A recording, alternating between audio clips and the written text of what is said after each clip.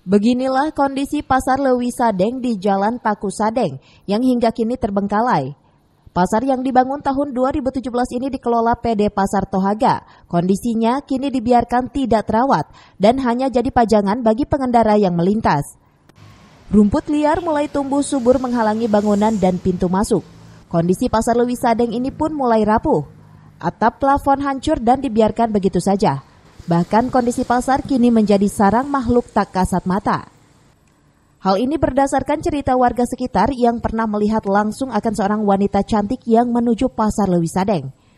Selain dihuni makhluk astral, pasar ini juga dijadikan tempat maksiat oleh orang yang tidak bermoral, sehingga warga sekitar geram dan sering mengusirnya.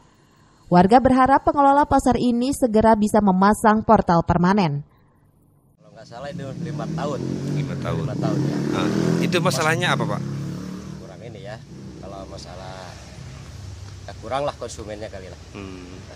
nah kosong dengan kayak gini kumuh seperti ini tidak ada yang mengurus atau seperti apa ya satu nggak ada yang mengurus Hmm.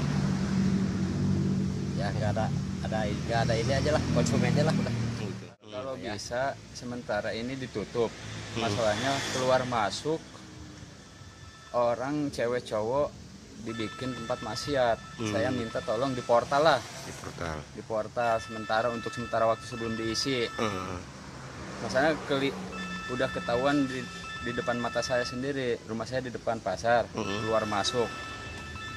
Kalau bisa segeranya ditutup lah sementara pakai portal. hmm. nah pak eh, kang Asep informasinya ini katanya dihuni oleh makhluk halus seperti apa itu makhluk banyak yang ngomong sih yang ngomong ada si cantik lah ini deh yang rame lah kalau malam gitu suara anak kecil apa genderuwo lah Dari Lewi Sadeng, Kabupaten Bogor, Iman Abdurrahman melaporkan.